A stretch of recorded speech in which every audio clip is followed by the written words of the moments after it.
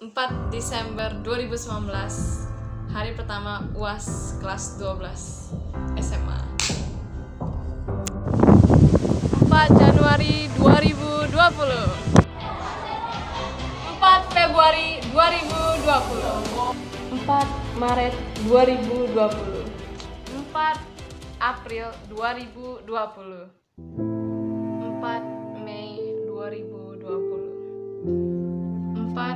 Juni 2020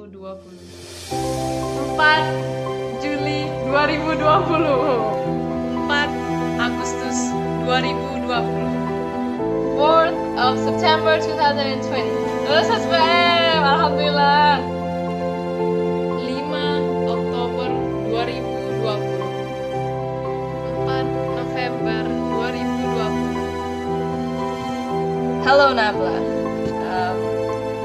the 4th of December 2020